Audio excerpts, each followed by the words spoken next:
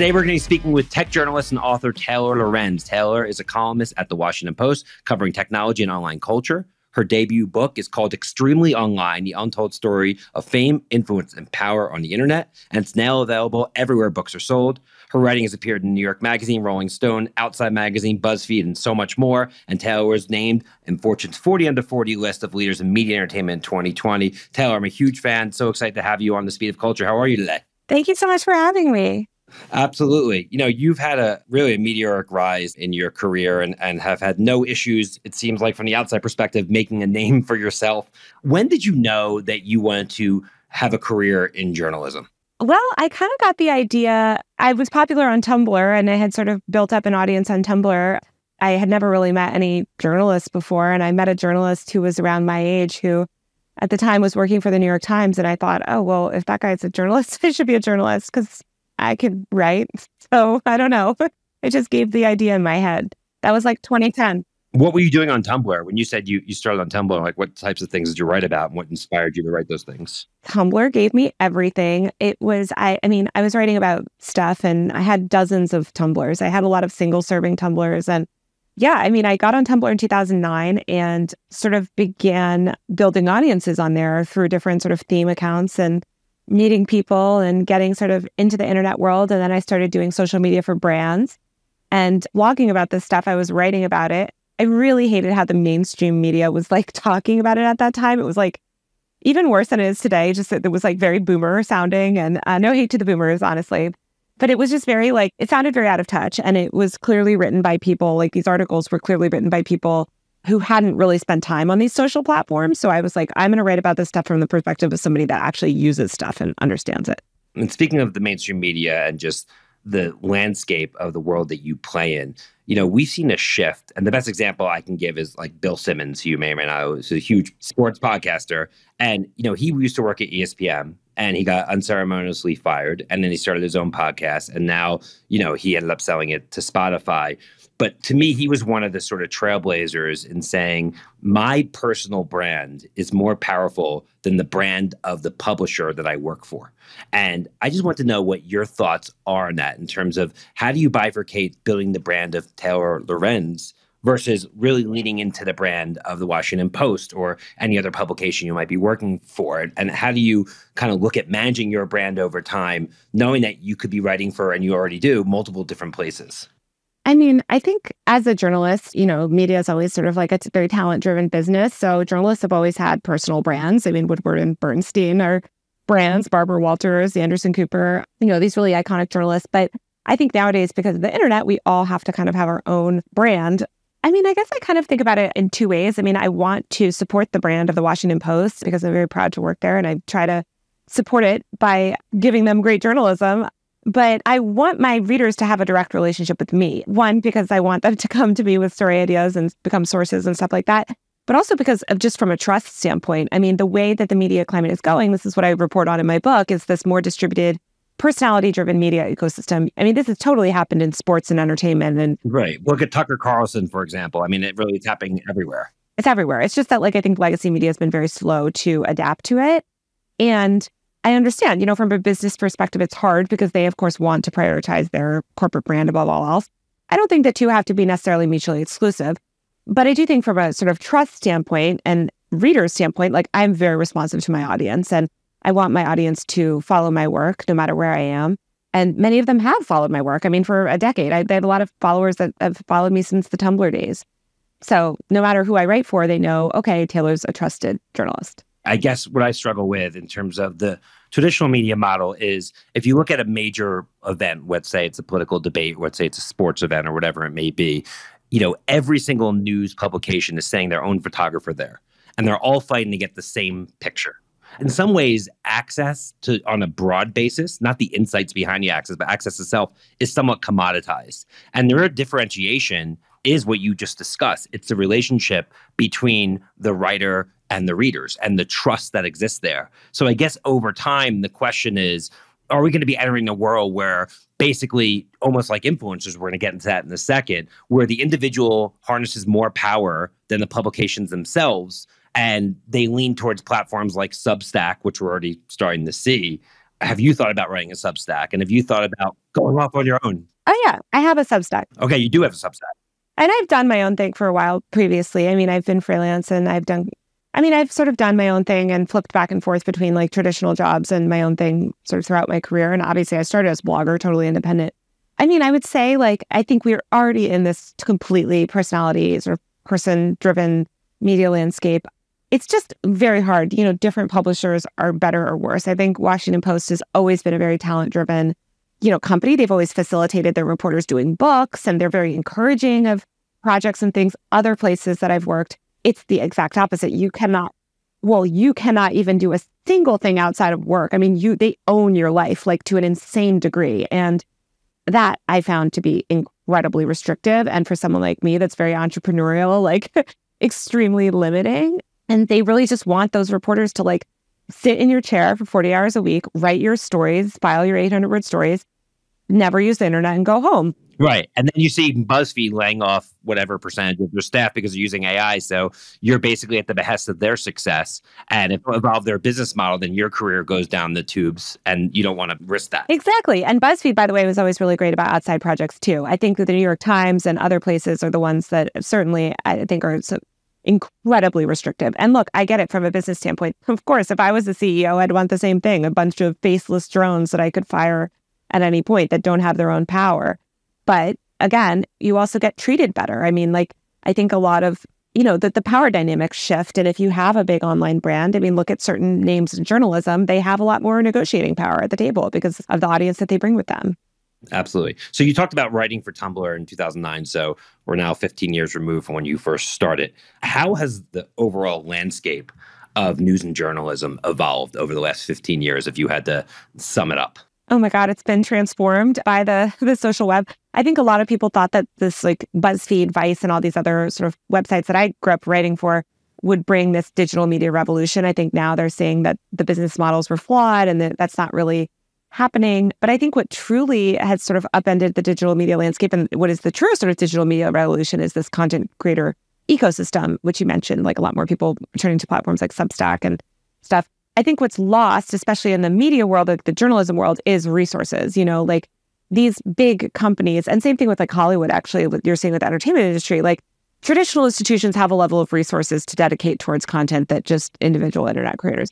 And investigative journalism, and they can pay for your travel and help you uncover things. Absolutely. And prevent you. I mean, journalists are constantly sued out of existence. This is the biggest problem, is actually journalists you know, who are the fiercest defenders of free speech, it's very impossible for them to do a lot of in-depth reporting on Substack because they don't have the legal protection. And legal protection is sort of like the number one thing I think that's keeping a lot of journalists from not going independent. Then again, you see a lot of, and I know you've had your fair share of attacks on you and, you know, on your reputation based upon the fact that you want to conduct what you believe is honest journalism. Not what I believe is honest journalism. I'm an honest journalist.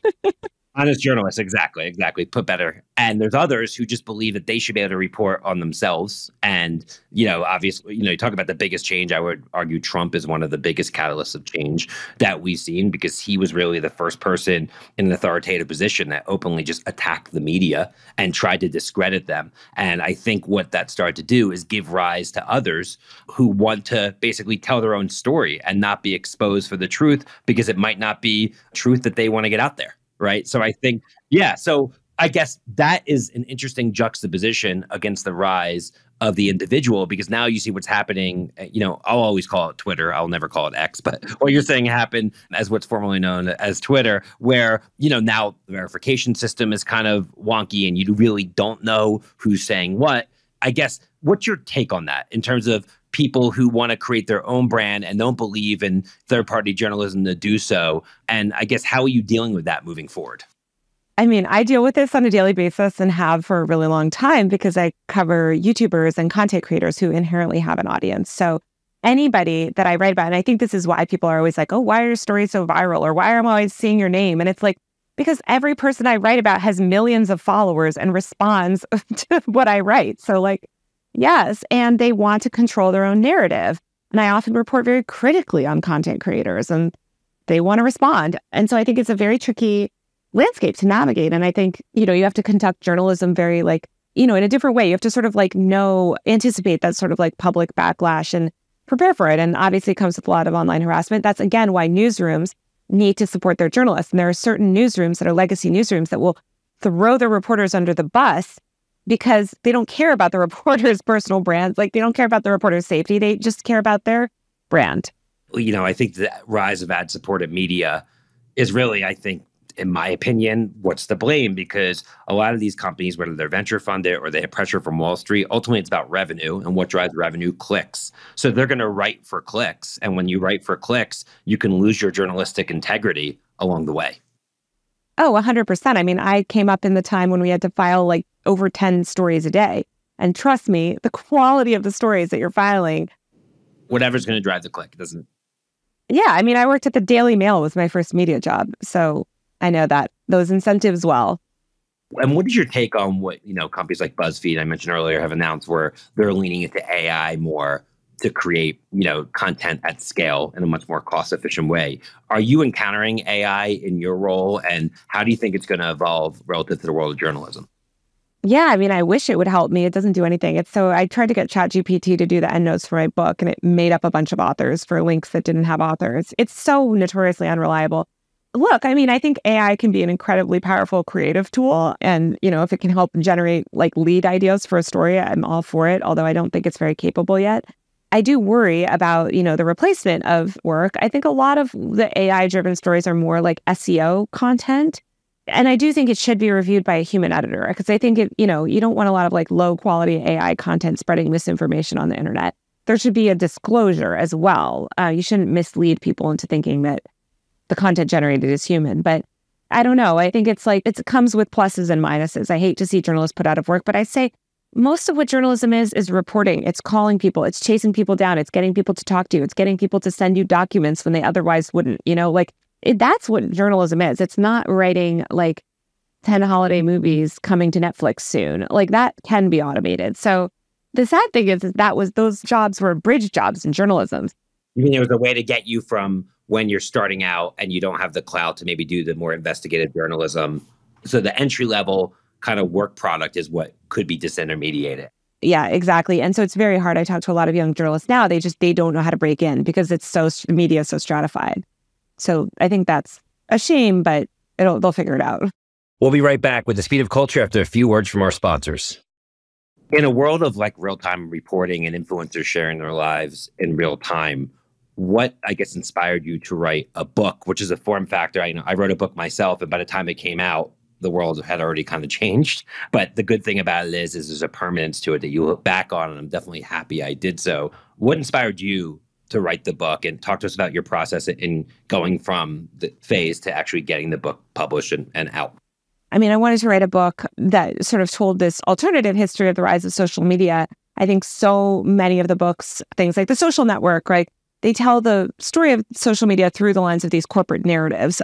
So it's like, you know, the Facebook story or the YouTube story or the Instagram story. And I love those books. I read all of them, but I think it's only half the story. And I wanted to tell the story of the user side of social media because I think actually users had a profound effect on these platforms, specifically power users and content creators. And yeah, I also want to talk about how this half a trillion dollar content creator industry emerged you know, over the past couple decades, because I think a lot of people think it started with Mr. Beast, and that's not the case. So I started writing the book in 2020, and I did it on top of my job. It was kind of dumb because it took me two and a half years, but that's what I did. And it's mostly historical. So, I mean, luckily I wasn't up against the clock, but I do incorporate some recent sort of stuff like since 2020 as well. So it's historical and it's called Extremely Online, the untold story of fame, influence, and power in the internet. So you're looking back to kind of the shift to this i would call it the social web or web 2.0 where when the internet first came out in 2000 it was really a publisher driven model much like television was. It was just people sold banner ads and it was based on impressions with companies like yahoo and lycos. And then 2004 facebook came out and basically consumers had a voice. And that was the beginning of the shift of power from publishers to individuals. What are some of the kind of landmark moments, I guess, since that shift and the dawn of Web 2.0 that you point to in your book? I mean, I talk about the rise of all these different platforms. And I start with sort of the mommy blogger universe and how they kind of disrupted media. I talk about the earliest content house in 2009 of YouTubers. My book has tons about Vine and the rise of Vine and the sort of the role it played in the social media landscape. Which was acquired by Twitter, right? Yes, Vine was acquired pre launch by Twitter, actually. And I think honestly, it was kind of Twitter's culture that ultimately led to its downfall. It had a very hostile relationship with its own talent. And then, yeah, I mean, it gets onto everything. It goes through YouTube, platform, you know, Snapchat. Like it sort of talks about the interplay between these platforms and how they competed for talent and evolved. And then, of course, it gets into more TikTok more recently. And who were some of the most influential or impactful influencers if you basically were creating an influencer hall of fame uh, of true influencers? So you can't name Kim Kardashian because she, I would say, is like more an A-list celebrity. Right. So if you were just to stick it to influencers, who would the five that come to mind be?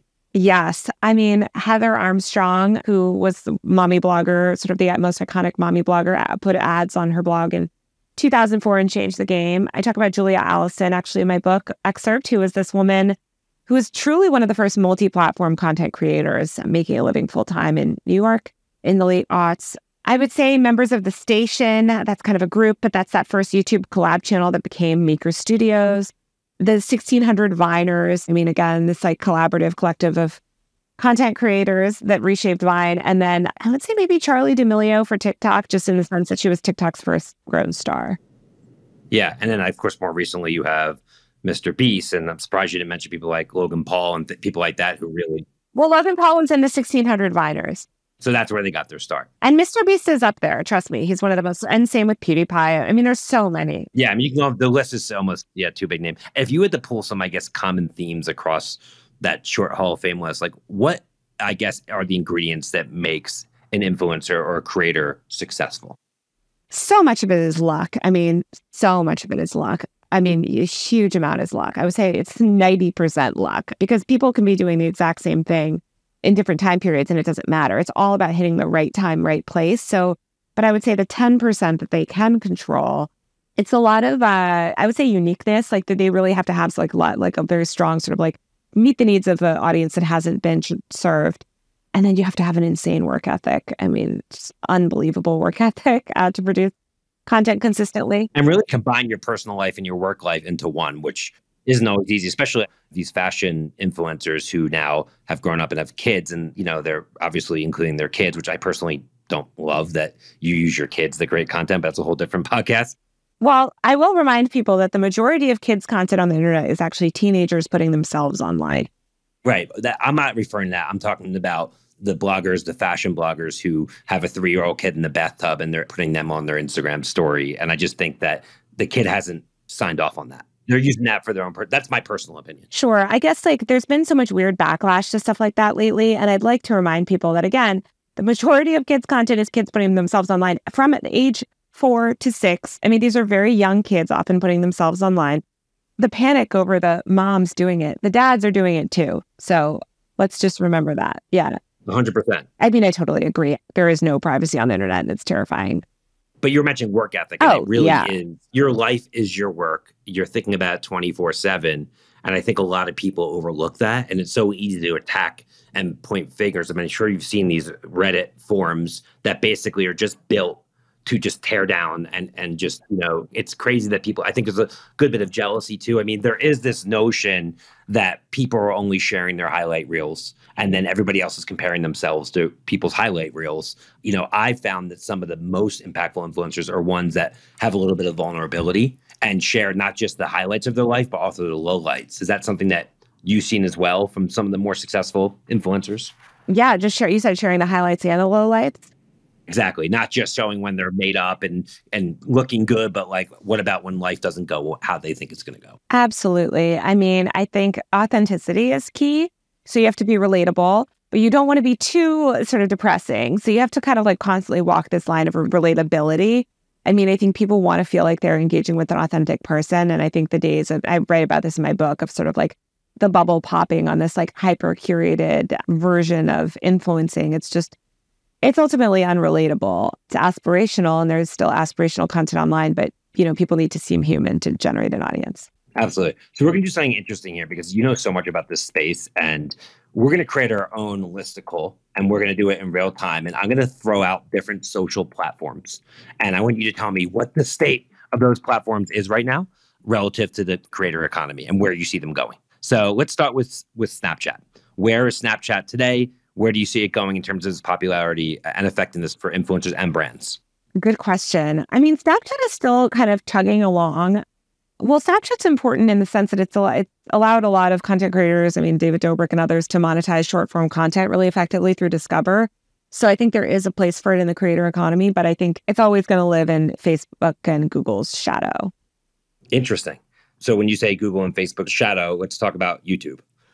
Look, YouTube remains the gold standard for monetization. They are the blueprint. I mean, they are the most stable platform from a revenue standpoint. It's incredibly hard to grow on there. It's very saturated, very difficult to grow and break out, right? That that's what I mean. Grow in terms of grow an audience and be successful. But if you're successful on YouTube, you can make a real living on there. And you can't really say that for a lot of other platforms. Right. So, and you also mentioned Meta. So, Instagram, do you feel like that is going to continue to hold up in terms of its popularity over time? It's been a powerful force in the creator economy for so long. Do you see it continue? Do you see it losing steam in the wake of some other newer platforms? Unfortunately, look, Meta spends so much on lobbying, I think, and squashing their competition. I don't think that they're going anywhere anytime soon. I don't think they're really innovating very much. They just seem to be running around copying every viral feature on the internet. Like Reels did to Snapchat, for example. Oh, everything. Yeah. I mean, they they do this to everything. I mean, threads, obviously. Um, but that's fine. I mean, they're gonna be around for a while. They're not going anywhere. But you know, I think people are increasingly frustrated.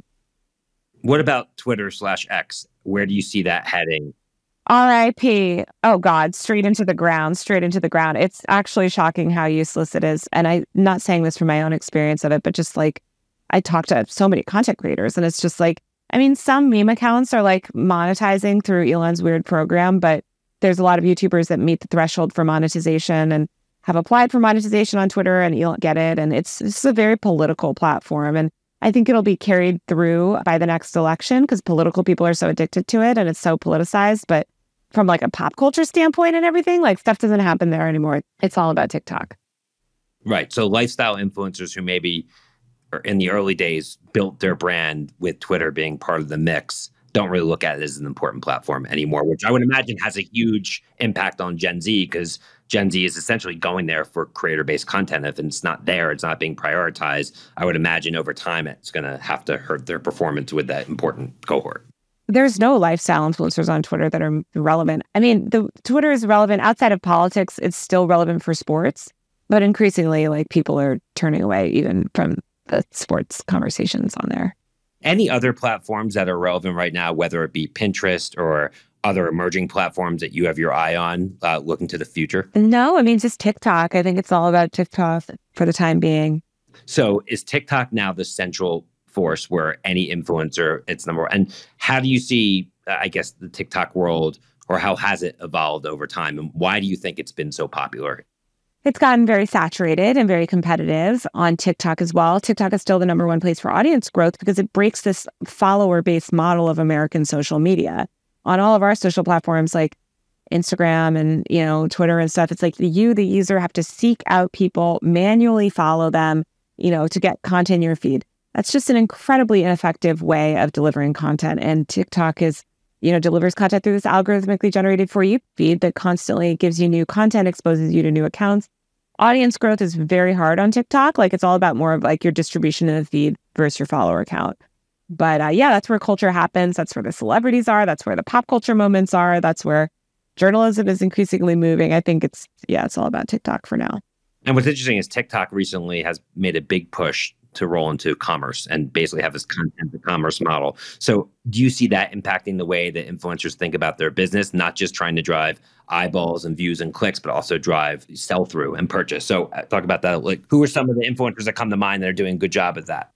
Oh God, I don't know. I try to swipe past the shopping streets. I mean, I love this girl Lauren Wolf. I buy anything that she sells. She's a lifestyle influencer in New York. I mean, a lot of them were already moved very heavily into the Amazon storefront program.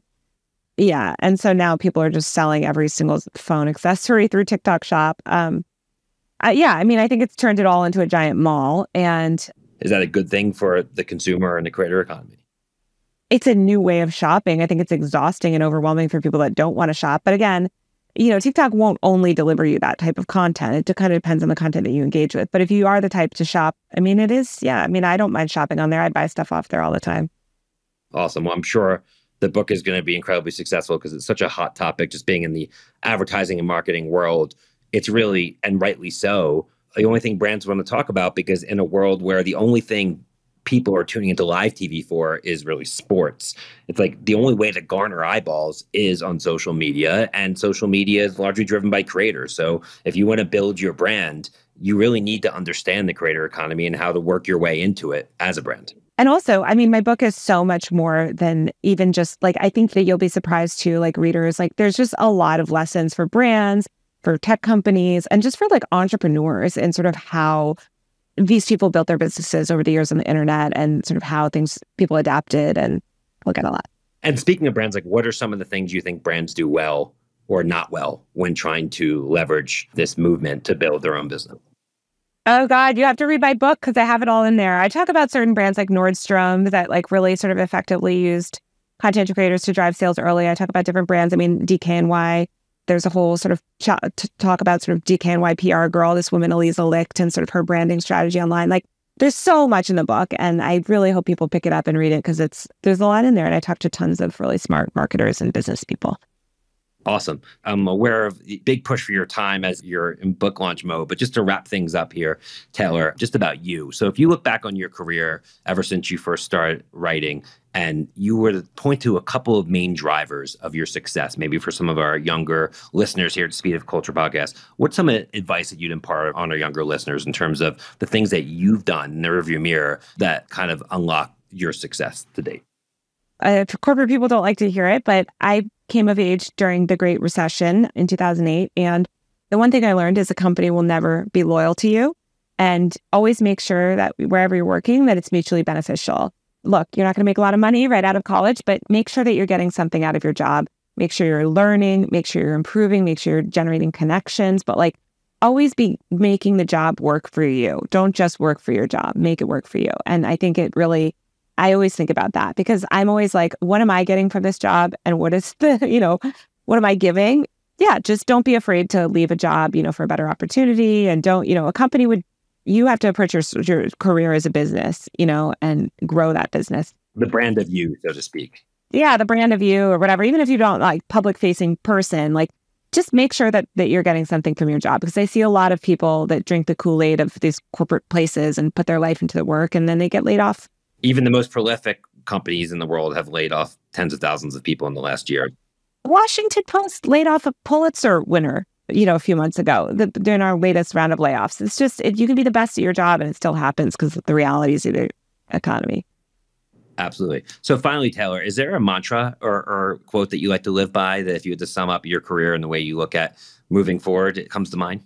Oh God, I don't know, but my favorite saying is "It is what it is." Because every time I get it, I don't know. Sometimes I'm dealing with something crazy and I'm like, you know what? It is what it is. So my mom always said that to me and it's always in the back of my head.